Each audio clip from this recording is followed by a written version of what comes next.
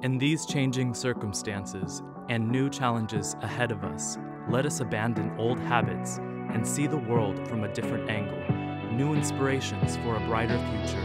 The CalCap Documentary Film Festival, organized by the California Capital Arts Foundation, June 10th, 11th, and 12th. Rancho Cordova, Sacramento, California.